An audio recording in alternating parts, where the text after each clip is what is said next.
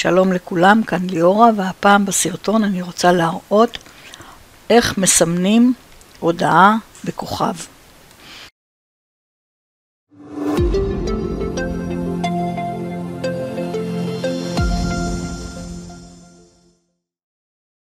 אז אני אה, אכנס לאחת הקבוצות לצורך ההדגמה בלבד.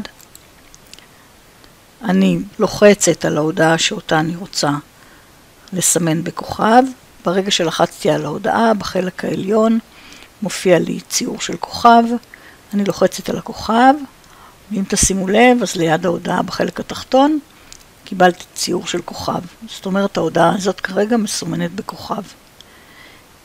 אם אני רוצה למחוק את הכוכב מההודעה, אני לוחצת לחיצה ארוכה על ההודעה.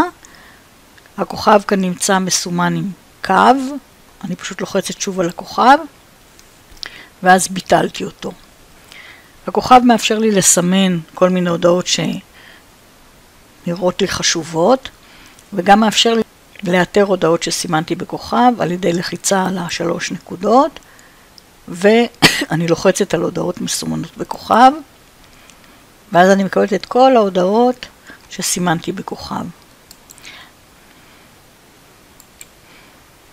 עוד ניקוי צ'אט. שימו לב, ה-V כאן לא מסומן. אם אני אסמן, הוא ימחק גם את ההודעות שסימנתי בכוכב. אז כמובן אני לא, לא מסמנת, ואז אם אני רוצה למחוק, אני אלחץ על נקה, נקה את ההודעות. כרגע אני לא רוצה למחוק.